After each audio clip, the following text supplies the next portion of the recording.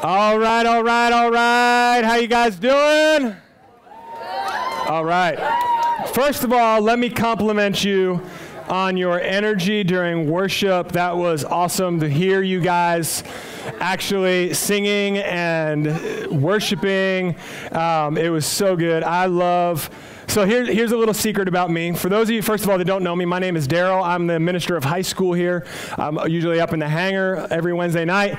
And so this is an opportunity that Tommy and I every once in a while like to switch just so I can see your smiling faces so that you're not a complete, I'm not a complete stranger to you when you move up to high school. Um, whether, you know, when you're done with eighth grade, that's usually how it works. Some of you guys are super eighth graders and you do it like two or three times. But like the, the normal progression is you finish eighth grade, you move up into high school. Uh, so when you get there, you'll see me uh, a lot, uh, more so than probably you want to, but that's fine. I'm okay with that. But um, I moved here about two years ago from Anchorage, Alaska. I was a youth pastor up there for 15 ish years, like 14 years, I think it was 14, 14 years or so. Um, and it was just a, an amazing time. And just so you guys know, like this right here, like me playing guitar and singing, first of all, it's the first time I've done it since I moved here um, because it's been crazy busy, all that fun stuff. But it, it was a major part of my ministry up there. I was leading worship all the time. I was helping develop worship teams and all that kind of stuff. I, I wore many, many hats. So here we have teams like Miss Stephanie that oversees the group here and does an amazing job. Give these guys a round of applause. They do such a good job leading you guys in worship every week. So great. And then we got Patrick. If you guys know Patrick up in high school, he leads our band up there. He does a great job. Pastor Tim here, who oversees our worship arts department as a church, like they do such a good job that I don't even have to like touch my guitar like ever. Um, ben had something that he couldn't be here tonight. Normally Ben helps lead you guys in worship. Um, he had something that he, so he couldn't be here. So and Mr. Carl wasn't available and all this kind of stuff. So Stephanie asked me, I was like, hey, could you? And I said, sure, why not? Uh, so uh, so excited to be able to be here with you guys. I'm I'm really sweaty right now. I forgot how sweaty I get playing guitar. Um, but we uh, are going to get into God's Word together. We're going to study God's Word together. How many of you guys have been here over the last couple of weeks at least once? All right? So if you've been here the last couple of weeks, you know that we've been in a series called Storyteller, right? Storyteller, and we've been looking at different parables from the Gospels, right? And a parable is simply a story that Jesus told to teach a lesson, right? That's the easiest way to kind of describe a parable we can get into more like theological, like the whys and the whats and stuff, but we don't have to cover that. For today's purposes, it's simply a story that Jesus used to make a point.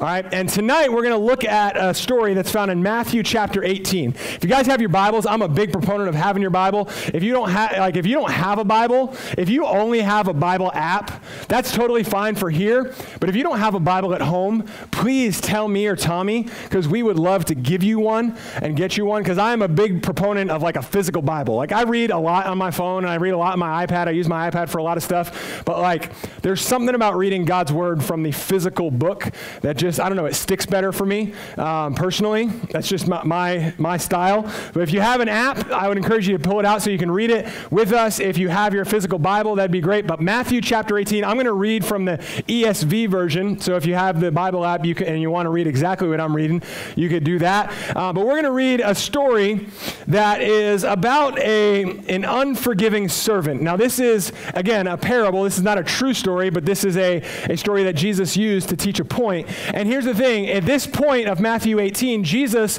just got done in a conversation with his disciples uh, where he was talking about forgiving your brother if he, if he sins against you. Like, how do you confront someone if they do you wrong? Like, biblically, how do you go through that? Like, if you've been around the Christian culture a lot, you'll hear people say, like, Matthew 18, man, Matthew 18. Like, what they're referring to is the passage right in front of what we're about to talk about. It's this idea of going to someone when they've gone to you wrong rather than going behind their back and talking about them. Go going to them man to man, woman to woman, and saying, hey, you've, you've harmed me, you've hurt me, let's talk about this. It's hard, but it's biblical. All right, so they just finished talking about that, and then Jesus steps in um, and he's asked, with a question, he's asked a question by Peter. All right, Peter's one of the disciples. And he says this in verse number 21 of Matthew chapter 18. It says this Then Peter came up and said to him, Lord, how often will my brother sin against me and I forgive him? As many as seven times? And Jesus said to him, I do not say to you seven times, but 77 times. Now, some other accounts, other translations, say it like 70 times 7 or this kind of stuff. And but the main point you need to understand here is Jesus is, is making a point of to use a, um, was it hyperbole? Yeah, hyperbole. He's using hyperbole. Anybody know what hyperbole? Any English majors in here? All right, what's hyperbole? Using an exaggeration to make a point, right? So Jesus, like Peter's like seven. Seven's attainable. Like you could keep track of seven, right? It's like, all right, I've forgiven this guy six times. One more time, I'm done, right?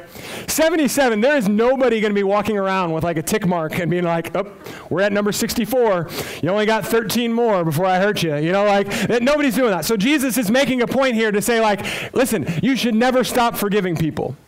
Like forgiveness is part of who you are. As, as a follower of me, you're the, you should be known by your forgiveness. But he knows that his disciples are a little dense at times, and they don't necessarily get it when he says those things. And so that's where a lot of the parables come in, is Jesus trying to like shake his disciples and be like, no, no, let, us try this again. All right? Story time with Jesus. And he says this in, in verse number 23. Therefore, the kingdom of heaven may be compared to a king who wished to settle accounts with his servants. When he began to settle, one was brought to him who owed 10,000 talents. And since he could not pay his master what his, his master ordered him to be sold with his wife and children and all that he had, and payment to be made. So the servant fell on his knees, imploring him, Have patience with me, and I will pay you everything. And verse 27, the, the master responds back with, And out of pity for him, the master of the servant released him and forgave him the debt. Now, you can read this passage like that, we'll, we'll read the rest of it here because the rest of it's really important too. But I need you to understand what's happening here. So you can read that real fast and be like, oh, he's, he's got, how many talents was it? 10,000 talents. And like in today's world, we go by dollars, we go by Dogecoin, we go by Bitcoin, whatever it is, right? We know what those mean. But like talent, you're like, oh, what, what, do you mean? Like being able to juggle? Like, no, no, like talent is something very important that you need to understand so you realize the mass amount of debt that this guy had. Let me break down what a talent is for you. Ready? A talent is very simply 600 drachmas. We'll get there. All right, 600 drachmas. 600 drachmas is the equivalent of 20 years of labor. Okay? So a couple of weeks ago, I taught in high school um, on the, the casting of the seeds. Did Tommy, Tommy do that one in here? Like the sowing of the seeds and like it falls on different types of soil? All right. What about the one where the, the field worker, like he was, he was unhappy because like he worked all day and got one drachma? Did Tommy teach that one too? So like a drachma is basically one day's worth of wages. Okay? So one day is one drachma. So like for that time, that would have been like one day's worth of wages. All right? So 600 drachmas, or excuse me, 6,000 drachmas is a talent, which is 20 years of labor. This guy owed 10,000 talents. Jesus is using hyperbole again. I don't know if you caught that, right? This is a lot of money. That's what you need to understand. And to put it into terms that you'll understand outside of just days of wages. So your average worker in America makes about $15 an hour some more, some less. Let's just use 15 for today's argument's sake. It's a good, like, first job, like, wage. Like, if you're making 15 in your first job, you're doing all right, right? You're doing okay. So, at 2,000 hours a year, which is a 40-hour job, over, you know, uh, a full-time job over 52 weeks, it works out to be approximately $30,000 a year. All right? That is um, just the one year's wage, 20 years of wages is 600,000. So one talent is $600,000. Anybody have $600,000 sitting around in their pocket? If you do, come see me. Um, you better tithe that, all right? And I'll make sure it gets it cash only. We'll make sure it works, all right? No, uh, but don't give it to Mr. Rick, all right? Um, but so one talent is 600,000, 10,000 talents. You guys ready? Move the decimal point. How many spots? That is going to be $6 billion. This dude owed a ton of money.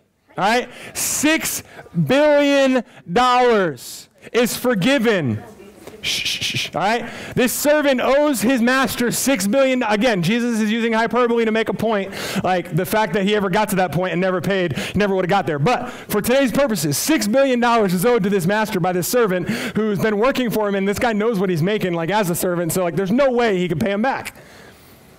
And the master forgives him his debt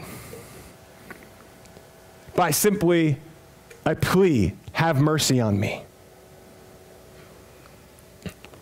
But the story continues. Verse 28 But when that same servant went out, he found one of his fellow servants who owed him a hundred denarii, a fraction of what he owed. A small slice, if you would, of the pie. And seizing him, he began to choke him, saying, Pay what you owe. So his fellow servant fell down and pleaded with him, Have patience with me, I will pay you. He refused and put him in prison until he should pay the debt. When his fellow servants saw what had taken place, they were greatly distressed, and they went and reported to their master all that had taken place. Then his master summoned him and said to him, You wicked servant, I forgave you all that debt because you pleaded with me.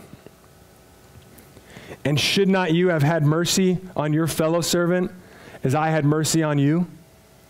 And in anger, his master delivered him to the jailers until he should pay all his debt.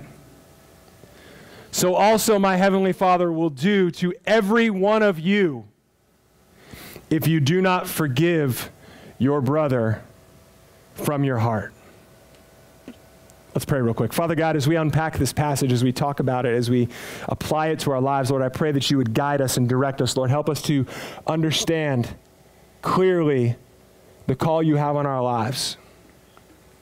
Lord, we love you. In Jesus' name we pray. Amen. This story takes quite the turn pretty quickly. It goes from like this massive debt, $6 billion debt, being forgiven to a fraction of that, a guy being choked and thrown into prison over by the same guy who just had his debt forgiven. You see, in this parable, there's, there's, there's two spiritual truths that, that are talked about here. There's two spiritual truths that you need to understand. The first is this ready? Salvation is immeasurably great. Salvation, when I say salvation, I mean the act of being forgiven of your sins, right? Jesus forgiving you of your sins is, is, like that first debt. Your sin debt is that $6 billion debt that you'll never be able to pay back. There's no physical way that you can make that money and pay it back. And like that, and it's even greater than that. And God is the master of the story. You see, the master is God. He, he knows that you have this debt and he calls you to it. But when, he, when the servant who represents us cries out to him, he's faithful to forgive that debt. But here's the thing you need to understand for the first spiritual truth of this story is that when we, when we look at it through the lens of the debt being our sins, our sins, the sins that we have are guilty of, and the master being God and us being the servant, that salvation, that forgiveness of the debt, that sin debt in our lives is so great, is so immeasurably big. Like there's not even a way to describe how powerful and how big of a move that is in our lives. Like I wish I could like give you like just a, a visual that even did it justice because there isn't. Because here's the thing, every single one of us has sin in our lives. All right? Every single, myself, I have sin in my life. I have since the day I was born. Nobody teaches a baby to say no, they just do it. You wonder why? Because sin. You're born into sin nature. And over the years, you accumulate the sin, not just the things you physically do or say, but the things that you think, the things that you dwell on, the things that you that, that go against God's word, that, that fill your mind, fill your heart. All those things add up, and that debt becomes so great. And there's nothing, listen to me, guys, nothing that you can do that can, can overpower that debt. You cannot be good enough. You can't go to church enough. You can't memorize enough scripture. You can't go on enough mission trips. You can't serve in enough food kitchens Christians. Like, all those things are great, but none of them even make a dent in your sin debt. The only thing that can do that is God. The only thing that can do that is the salvation that God offers, the immeasurably great salvation. I don't know where you guys are in your life. I know a lot of you, but I don't know all of you. I don't know where you stand with God. I don't know if you've ever had that sin debt forgiven, but I want to tell you guys tonight, before we leave, you're going to have an opportunity at that. You're going to have an opportunity to be able to go before God, go before your master, and say, God, I, I can't repay that debt. I need you to forgive it. And when you do that, when you take that step, no matter how big that debt is, no matter how big that list is of things that you owe because of your sin in your life, God blots it free, washes it away. That's spiritual truth number one. Salvation is immeasurably great.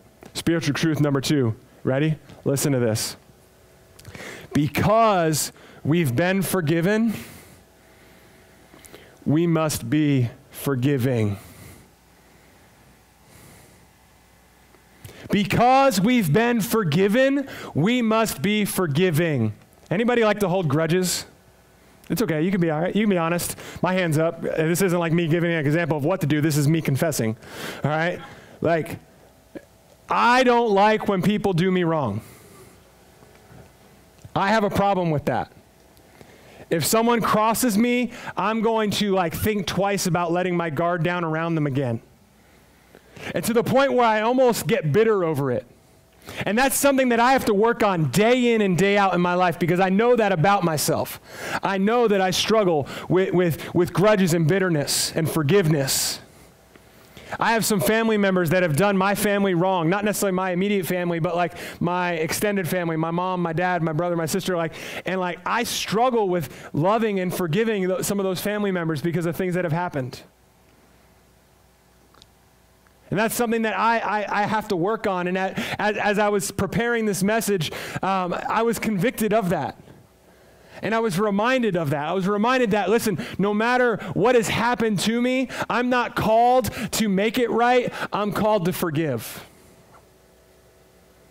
And forgiveness doesn't require the person asking for forgiveness. Let me say that again.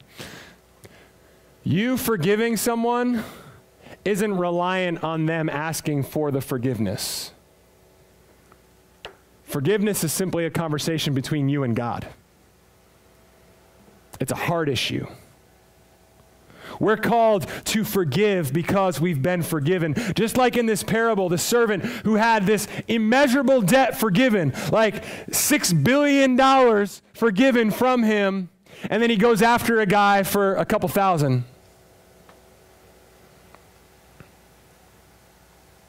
Has him thrown into prison when his life was altered with the forgiveness that he was shown, and then he failed to show it again. And the master gets word of this, and he comes back to him and he says, How dare you, you wicked and evil servant? How could you not give what has been given to you? Go to prison till you can pay it back, which you never will.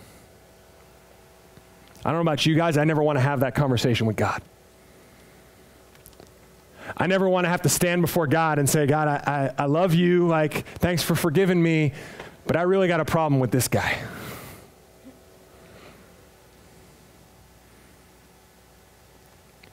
I don't want to have that conversation. I don't want to have that heart to heart talk with God in that moment.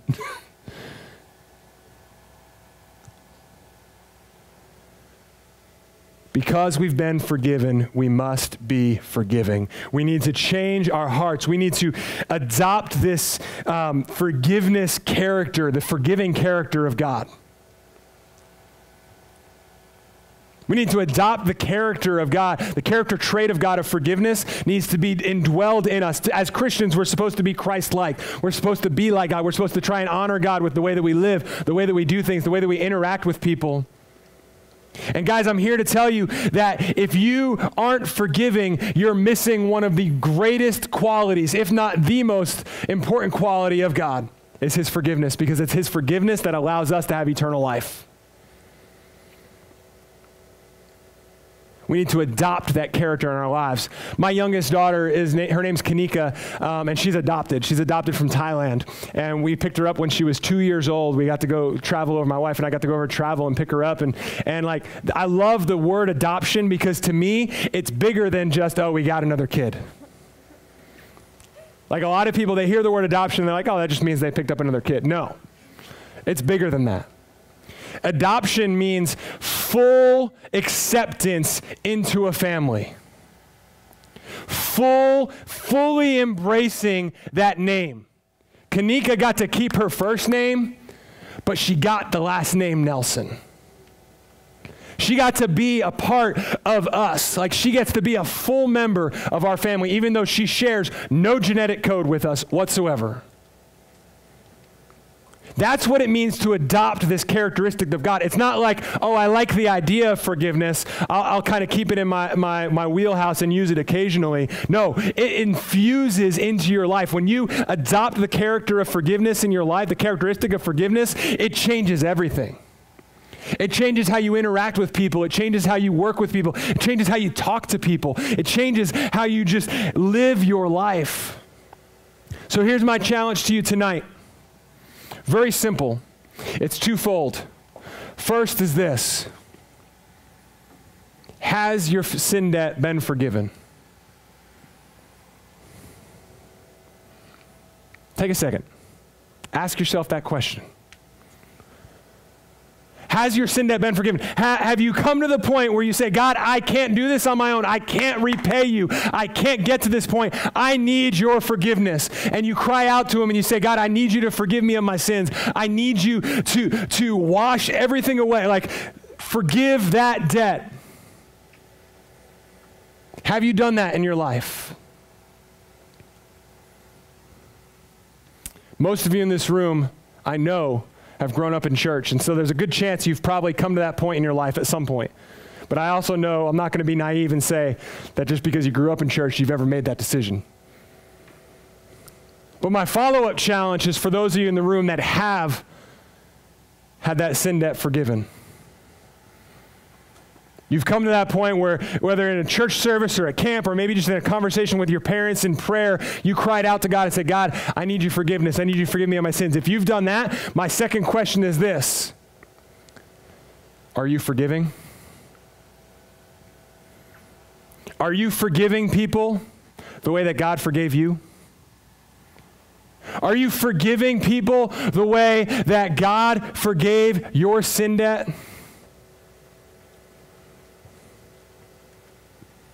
If the answer is anything but an astounding yes, your answer is wrong.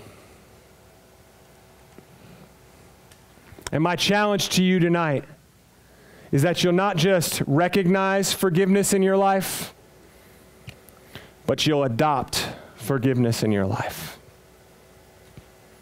You'll let it infuse every part of your body, every part of your life be infused with the forgiveness of God and the way that you treat people, the way that you interact with people. That means it might change the way that you have to interact with some of your friends at school or some of your enemies at school. Might change the way that you have to deal with your parents. Might change the way you have to deal with your brothers and sisters. Might change the way that you have to deal with everyone. But I'm here to tell you guys listen, it's the most important thing you can do. Model Christ's forgiveness if you've been forgiven. Every eye closed, every head bowed. Here's what I want to do If you're under the sound of my voice right now, I want to ask you a few questions.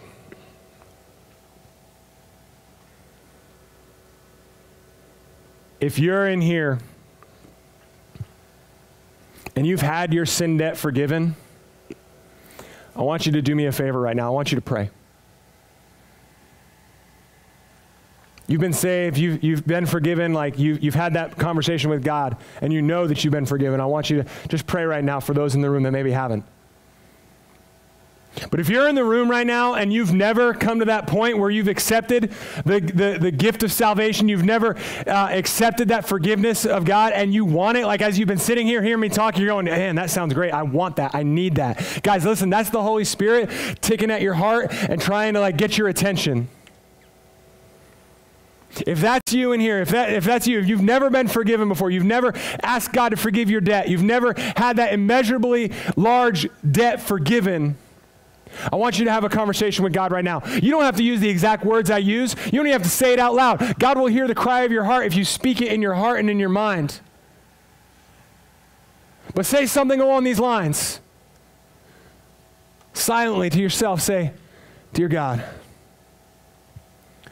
I'm a sinner. I confess that to you right now. I ask that you would forgive me. I ask that you would come into my heart right now and forgive that sin debt through the blood of Jesus, through the sacrifice of your Son on the cross, his death, burial, but most importantly, his resurrection. I want that forgiveness in my life. Please forgive me. And just follow it up with a simple amen. Everybody's eyes are still closed, everybody's head still bowed. If you said that prayer right now and you meant it the best you know how, like you might not know all the answers, but you know that you want the forgiveness of Jesus, and, and like you cried out to him and you meant it, I want you to do me a favor. I'm not going to call you out. I'm not going to have you stand up. I'm not going to have you do anything like that to embarrass you. But I just ask that you would look up at me and make eye contact with me. Just keep your head up until you make eye contact with me. I see you. I see you. Amen.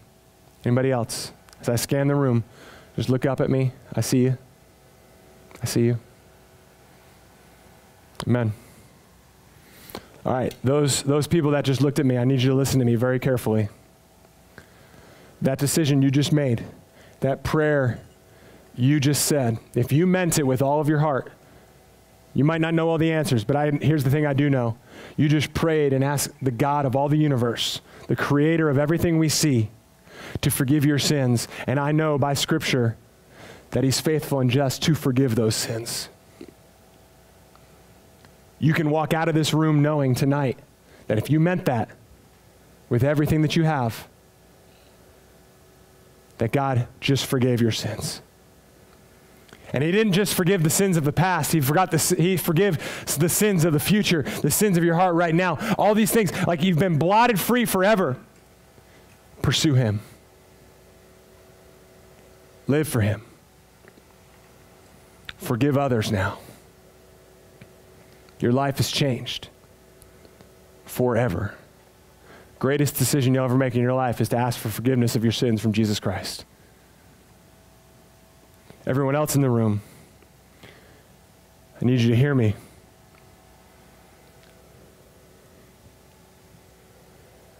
If you're a believer in Jesus,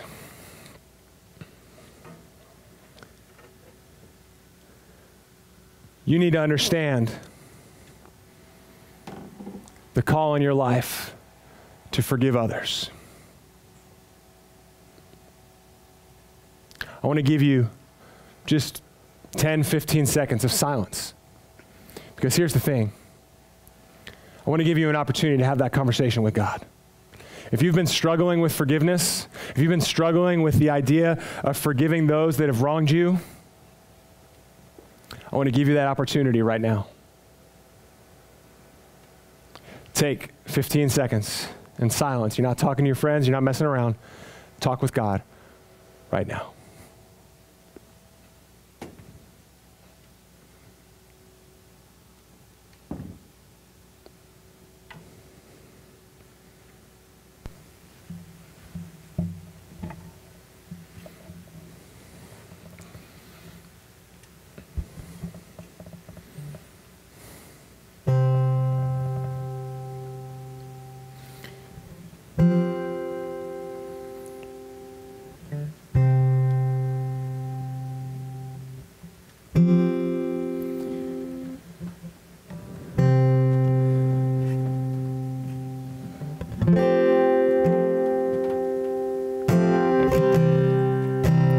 Father God, it's our prayer, Lord, that you would help us to be forgiving because we're forgiven. Lord, for the students in here that ask for your forgiveness right now in this moment for the first time, Lord, I pray that you would just give them the boldness to tell someone tonight before they leave. Tell their friends, tell a leader, so that we can celebrate with them. God, I pray that this group of middle schoolers would be world changers for you. Lord, that they would be locked in, radically pursuing you in all that they do.